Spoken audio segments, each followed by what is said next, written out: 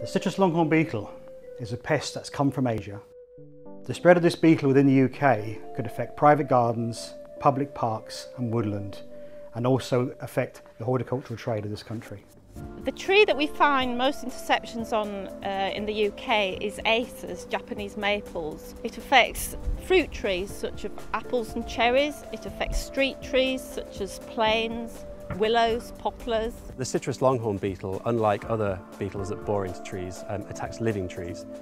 If the pest did spread from an urban environment into Britain's well-loved forest and woodlands, that would be a real problem for us.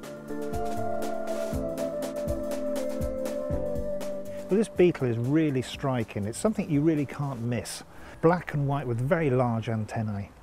The adults can be quite variable in size, typically between 2 and 4 centimetres in length.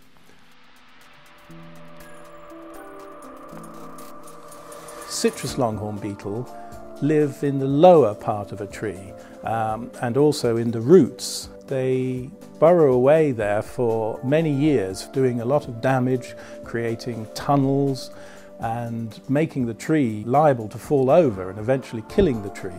You would normally find the adults emerging from the host tree in the summer months of the year from May to October, but certainly July and August are the, are the most likely times, with it being the warmest. If I was looking for the damage, I'd, I'd be looking right down low on the tree like that to see if there's any exit holes.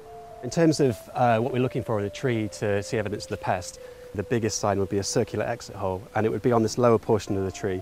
You see this exit hole where the adult has emerged, and if we open the tree up, what you see is the point where the larvae is burrowed and moved up inside the tree, and the adult has exited here. Unfortunately, you can't use insecticides against this pest once it's established within the tree. The only method of, of uh, combating it is to fell the tree and, if possible, extract the roots.